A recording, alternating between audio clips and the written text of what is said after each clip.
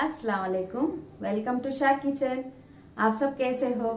आज बनाने जा रही हूँ बीन्स और दाल का चार। तो चलिए बनाते हैं। बीन्स का चार बनाने के लिए क्या क्या चाहिए बताती हूँ। यहाँ पर बीन्स ये पाव किलो ली हूँ, धोकर अच्छे से मैं रख ली हूँ।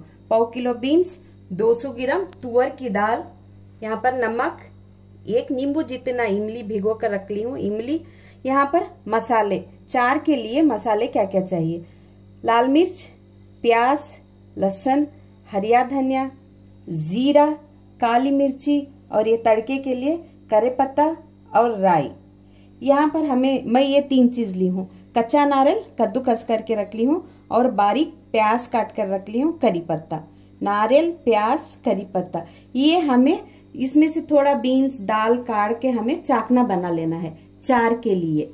ये बीन्स को मैं पाव किलो ली हूँ। ये नाटी बीन्स है ये। बीन्स को ऐसे ये नार निकालना ज़रूरी है। बीन्स से ये नार निकालना ज़रूरी है। निकाल कर हाथ की मदद से आप ऐसे काट कर रख लेना। अभी मैं बताती हूँ ये कैसे बनाते हैं। यहाँ पर गैस ऑन कर ली हूँ, मैं कुकर को भी रख ली हूँ। सबसे पहले हमें दाल को डाल लेना है। मैं धोकर पानी डालकर रखी हूँ दाल में।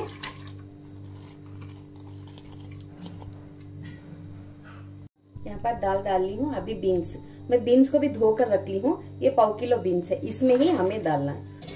हमें ज़्यादा सीटी नहीं लगाना है कुकर में, कुकर की। हमें एक सीटी आने से पहले या एक सीटी के लिए हमें बंद कर देना है। फिर इसका पानी निकाल कर हमें इससे सेपरेट करना है। मैं दिखाकर देती हूँ आपको। एक गिलास। फिर मैं और आधा गिलास डाल रही हूँ। अभी इसमें नमक लेती हूँ मैं। नमक यहाँ आधा टीस्पून जितना ले रही हूँ मैं। बस हमें इतना चाहिए नमक। अब मैं ढककर रख देती हूँ कुकर को। कुकर को ढककर रख दी। एक सीटी आने के बाद फ़ौरन हमें इसे खोल देना है ढक्कन। अभी इसका मसाला तैयार करती हूँ।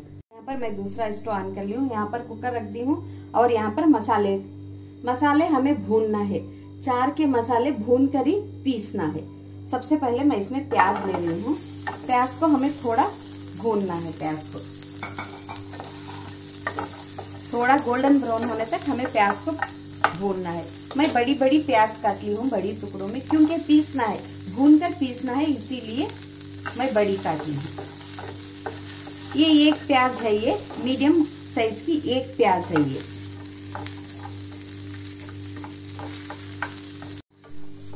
ये देखिए, प्याज को इतना ही भूनना है, प्याज को। अब एक साइड कर लेती हूँ मैं। अभी इसमें लहसन डाल लेती हूँ। ये छोटे कलिया है लहसन के पंद्रह से बीस कलिया है लहसन के। इसे भी भून लेना है। और यहाँ पर लाल मिर्ची, एक दस लाल मिर्ची जितने हैं, इसे भी हमें भूनना है। चार का मसाला भून कर ही डालना है इसमें। कच्चा मसाला नहीं डालना है, चार का मसाला भून कर ही डालना है। यहाँ पर मिर्ची, लहसुन भून चुके हैं। अभी यहाँ पर एक टीस्पून भरकर जीरा। और थोड़ी सी ले रही हूँ मैं। जीरा और यहाँ पर एक टीस्पून भरकर काली मिर्ची। इसे भी हमें भून लेना है। ये अच्छे से भून लेना है, फिर इसको गैस बंद कर देती हूँ मैं। बस, गैस को बंद कर दिए। इसी गरम में हमें जीरा और काली मिर्ची को भून लेना है, क्योंकि ज़्यादा पर रखकर भूनेंगे तो जल जाता है, इसीलिए। ये मसाला तैयार हो गया अभी मैं ये पीस लेती हूँ, पीस कर बताती हूँ आपको।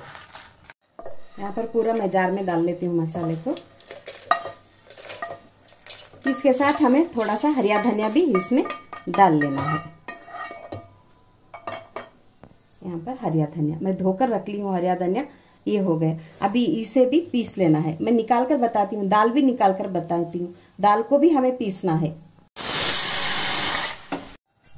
यहाँ एक सीटी आ गई है। अभी मैं इसे खोल लेती हूँ। खोल कर इसमें की दाल निकाल लेती हूँ।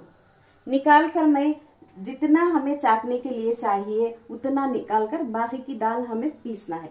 मसाला भी पीसना है और दाल भी पीसना है। मुझे कमेंट्स में बोले थे, बनाकर बताने के लिए बीन्स का चार। बीन्स के चार के साथ दाल जाती है। आप चाहे तो लोबे डाल सकते हैं या मूंग भी डाल सकते हैं। मैं आपके लिए इजी के लिए दाल और बीन्स का चार बनाकर बता रही हूँ।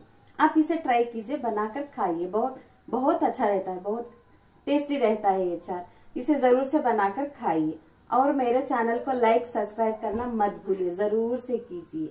अभी मैं इसे, अभी मैं इसे निकाल लेती हूँ। इसका पानी, दाल का भी मैं अलग से काट लेती हूँ।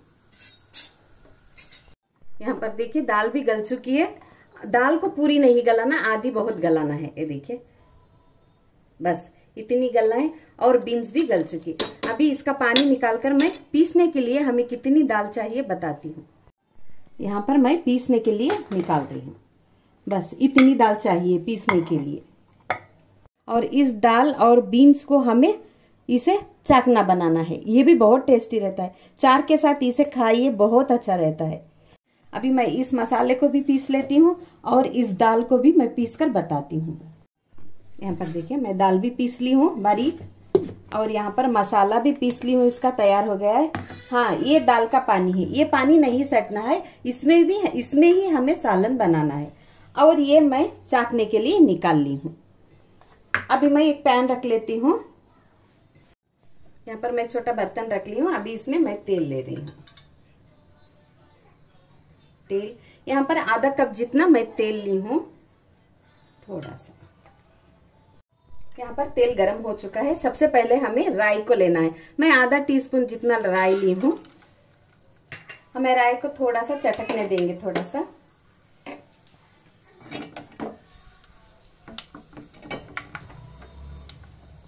अब इसमें करी पत्ता। करी पत्ता एक दस पत्ता है, दस से पंद्रह करी पत्ता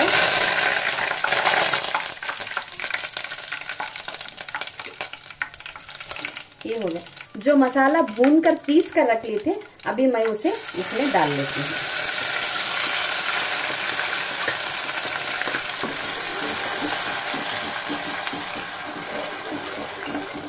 अभी ये हो गया। जो दाल मैंने पीस कर रख ली थी, उसे भी मैं इसमें डाल लेती हूँ।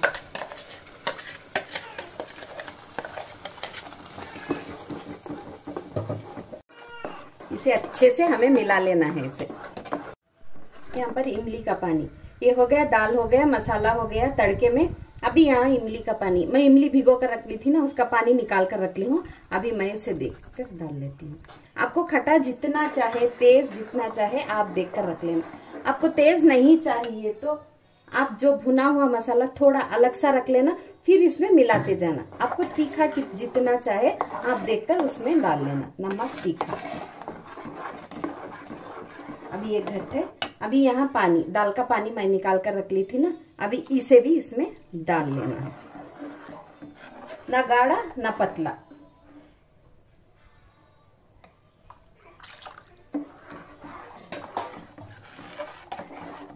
देखिए, ऐसे, ना गाढ़ा, ना पतला।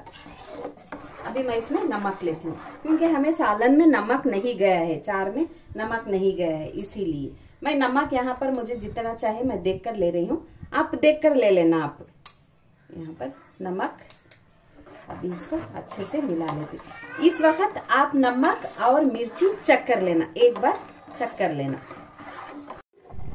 एक उबल आने तक हमें सालन को अच्छे से पकाना है। यानी कि बीन्स के चार के लिए। ये देखिए, इतना गाढ़ा, इतना ही गाढ़ा चाहिए। ज़्यादा गाढ़ा भी नहीं, ज़्यादा पतला भी नहीं। एक उबल आने तक मैं इस पर रख देती हूँ। यहाँ पे पैन रख ली हूँ मैं। अभी पैन में हमें चाकने को बगारना है। यहाँ पर तेल ले रही हूँ मैं। दो से तीन टीस्पून जितना तेल ले रही हूँ बस। यहाँ पर मैं करी पत्ता ले रही हूँ सबसे पहले। अभी यहाँ पर प्याज प्याज को भी लेना है हमें। थोड़ा सा प्याज को आधा ही पकाना है, ज़्यादा नहीं पकाना है प्याज को।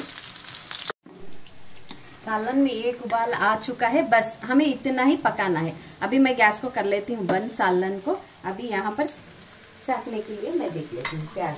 हाँ प्याज थोड़ी सी पक चुकी है प्याज।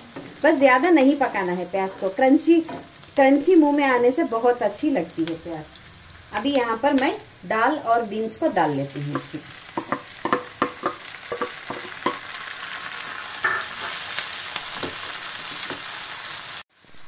यहाँ पर थोड़ा सा लाल मिर्च पाउडर डाल रही हूँ। आप चाहे तो काली मिर्ची पाउडर भी इसमें डाल सकते हैं। थोड़ा सा इसमें डाल रही हूँ मैं। और यहाँ पर नमक। नमक चाहिए हमें, इसीलिए थोड़ा सा नमक।